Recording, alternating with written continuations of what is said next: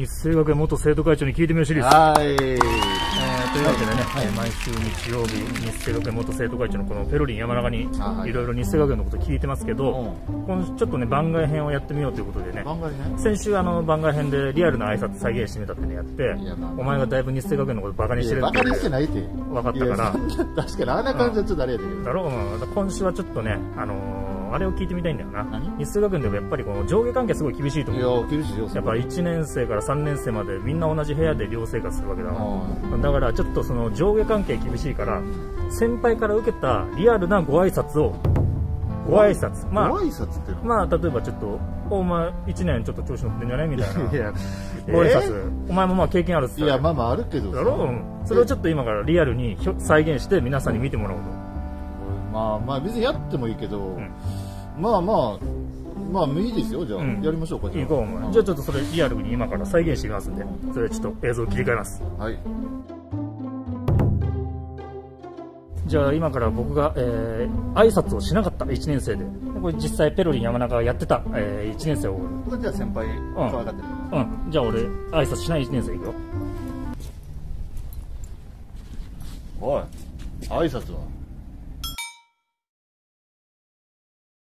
はい、まあこんな感じですよ。まあなんか俺予想と違ったないやいや、これだけでもすげえ怖いけど。まあ確かに俺らの時代でそんな怒る先輩いなかったけど。お前で。いやでもちょっと俺が聞いてた日生学園と違うというかもうちょいいろんな俺動画とかえ？ネット記事とか見てていや学園ちょっといや、もうちょこんなんやって。お前嘘ついてんだろ嘘ついてるかまたは日生学園卒業したって嘘だろ。なんでや？え？ずーっとこんなずっとシリーズやってずっとずっと苦しいわお前多分もう分かってないわ多分。ちょっとなぼーっとしてて覚えてねえんだ。今から過去の日生学園の動画とかネット記事をよーく見直してもう一回再現して。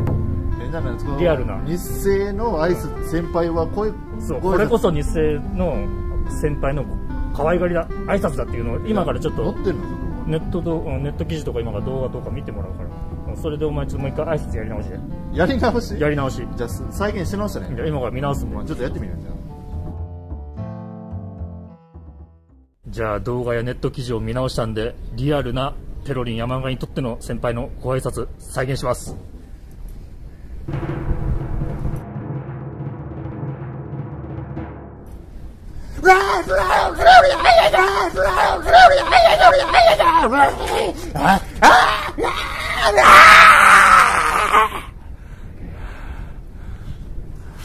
もう本当バカにしてるよ。あバカにしないでお前お前。いくらなんでもひどすぎんだろ今の。おこれもさう人じゃねえじゃねえかいや待てってお前。え？え何？日本語喋ってなかったの？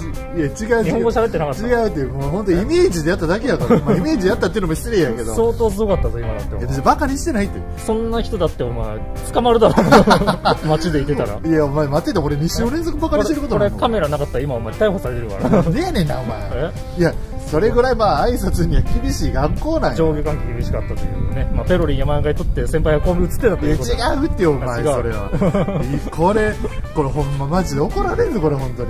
怖い先輩。俺何も知らなかった。怖い先輩マジで多いんや俺と関連がお前一人で。じゃあ俺だけ映すなお前。映れってもうん。いやだいぶすごかったということでね。これが、えー日生学園先輩の、えー可愛がりだったといやイいうことで。メージですよ。イメージですよ本当に。うん。というわけでまた次回お会いしましょう。なんでやおい